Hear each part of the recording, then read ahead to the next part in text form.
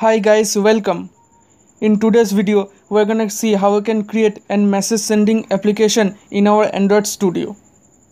But before we begin, please make sure to subscribe our channel and hit the bell icon for more updates.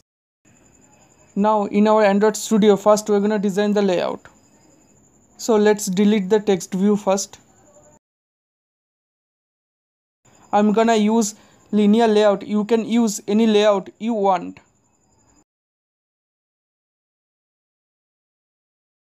Give the orientation to vertical.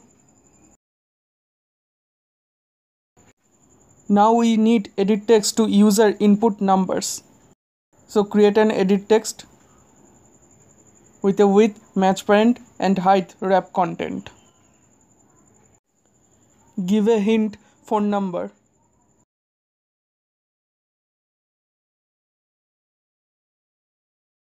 And input type to phone to user to only input numbers. And the layout margin would be 8 dp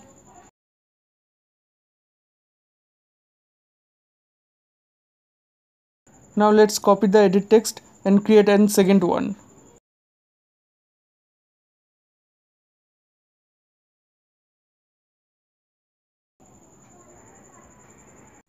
And I will set it height to 100 dp the hint will be type a message.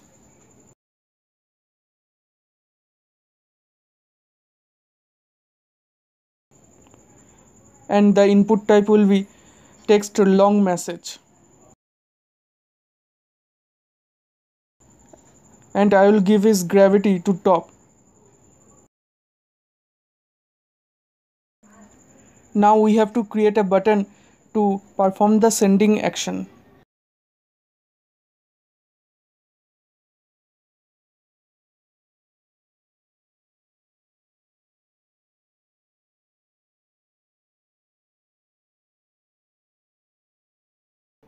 now we have to give these three views an id so we can find them in java code later.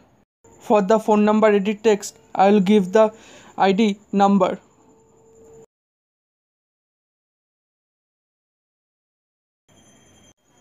For the message edit text it will be message.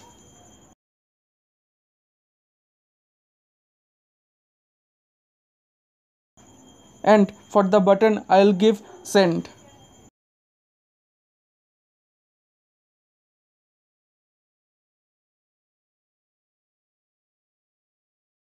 Now we need to go to our Android manifest file and here we'll declare a permission. The permission will be send SMS. This permission is needed for user to send SMS to the another user. Now we can close this file and go to our main activity.java.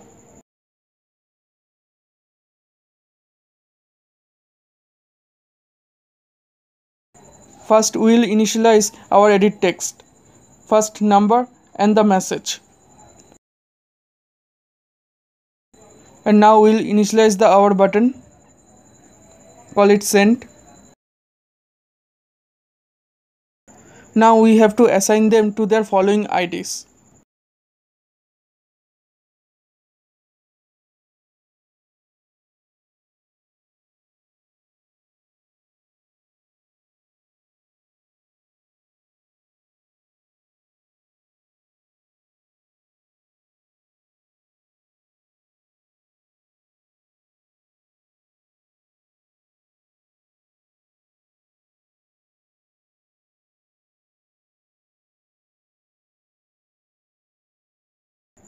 Now we will call set on click listener on this button. New on click listener. Now in here we could type the message sending code but because we have permission issues in our application so we need to type this code more than one that's why i'm gonna put it in a method so go to the outside of the on create method and here create a method private void send sms now we need to store the edit text value in a string. To do that string phone number equal to number dot get text to string dot to trim semicolon. Exactly do that for the other edit text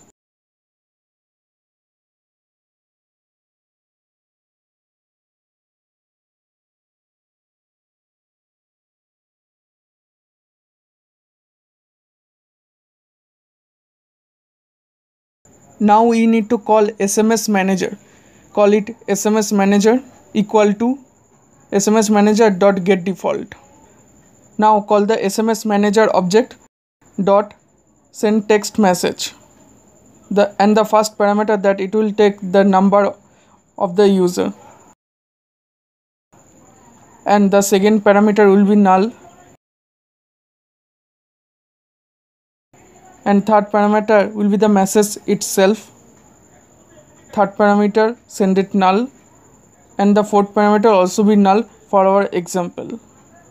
Semicolon.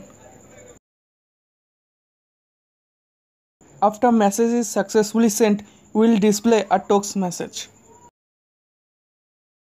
And the toast message will be message is sent. But this code may generate error for this we have to wrap it in a try catch and in the brackets we'll paste these three lines.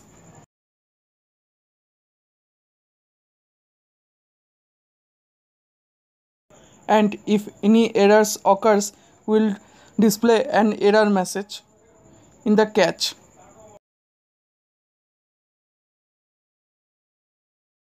So message will be fail to send message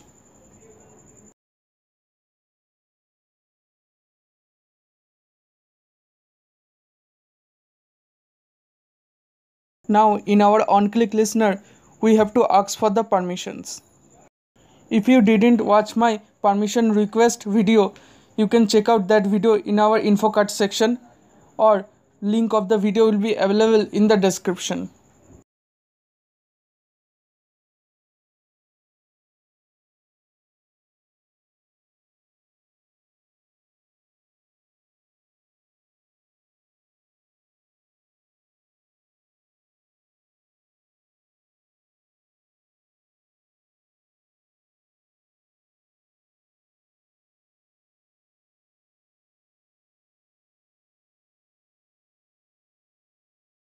And here we can simply call our send sms method. And in the else we can simply request and permission.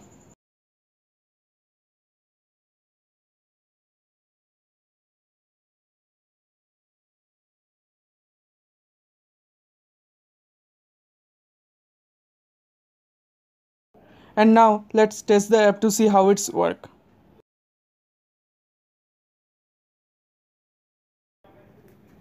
let's give a number.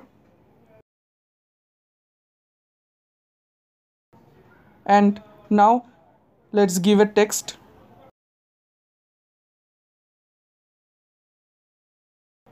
Click the send button. It asks for the permissions. Allow it and click the send button again. You can see the message is sent thank you guys for the watching this video. And if this video is helpful please leave a like. Take care